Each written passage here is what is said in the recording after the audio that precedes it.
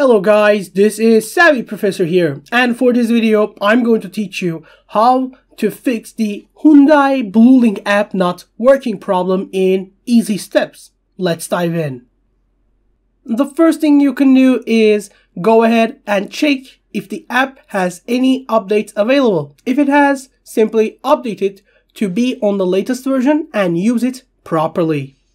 One other thing you can do is go ahead and delete the app's cache and data from your phone's storage. It's different for every phone, so you have to like search your phone online for the fixes, but that's something you can do.